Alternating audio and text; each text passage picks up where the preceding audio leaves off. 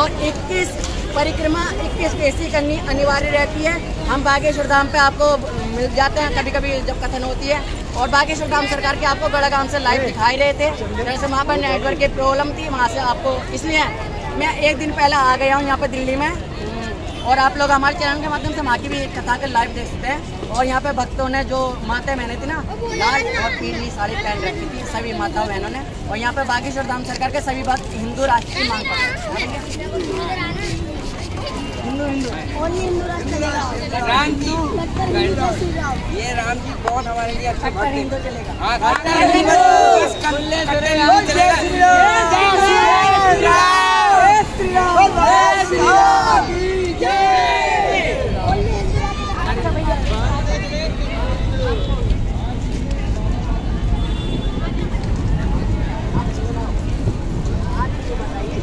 अजीब सी हमें लगी यहाँ पे दिल्ली में आकर